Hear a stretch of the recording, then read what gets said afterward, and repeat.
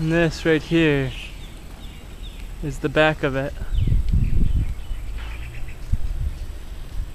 With some Buddhas. Some broken Buddhas up front and more Buddhas back there. And there's another one over there. Dude, this place is sweet. It's like my favorite. And there's the big centerpiece behind this piece. Maybe there's something else on the other side. Because there's two entrances. I guess we'll see.